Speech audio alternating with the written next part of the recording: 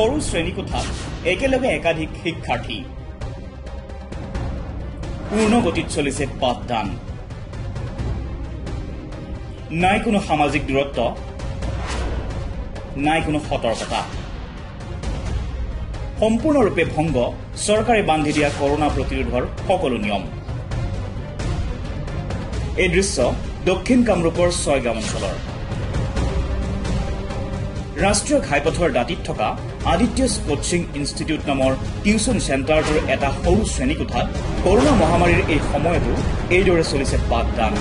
কোনো ধৰণৰ সামাজিক দূৰত্ব নাৰাখি একেখন বেঞ্চতে ছয় সাতগৰাকী শিক্ষাৰ্থীক বহুৱাই চলিছে এই ভয়ংকৰ পাঠদান পৰ্ব। কেৱল টিউচন ফিজৰ কথা ভাবি থকা শিক্ষকে যেন ভৰিৰে মোহাৰিলে সকলো চৰকাৰী নিয়ম।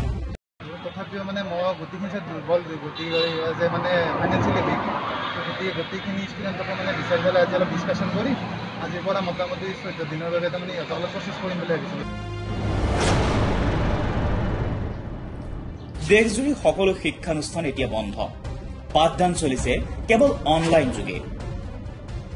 কিন্তু ছয়গাঁও অঞ্চলত যেন ব্যতিক্ৰম। চাওক আন এক উদাহৰণ। ছয়গাঁওস্থিত লালমোহন চৌধুৰী শংকৰদেৱ শিশু বিদ্যা নিকেতনৰ এগৰাকী শিক্ষকে ছয়গাঁও শ্ৰীমন্ত শংকৰদেৱ কলাকৃষ্টি বিকাশ কেন্দ্ৰত কৰোণা মহামাৰী প্ৰতিৰোধৰ সকলো নিয়ম ভংগ কৰি চলাইছে এই পাঠদান। এইগৰাকী শিক্ষকৰো যেন নাই কোনো ধৰণৰ সামাজিক দায়বদ্ধতা।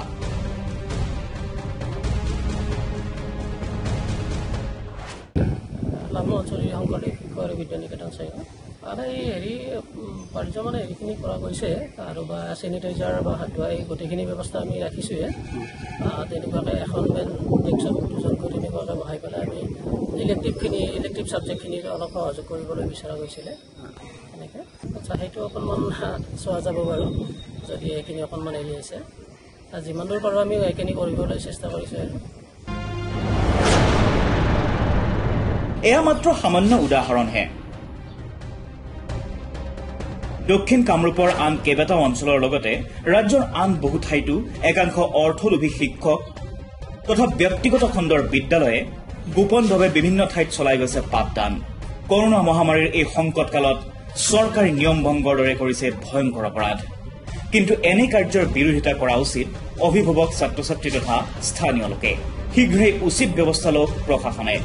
নহলে হয়তো পৰিস্থিতি হ'ব আৰু বিষম। ছয়গাঁৱৰ পৰা বিপুল দাসৰ ৰিপোৰ্ট সময় অসম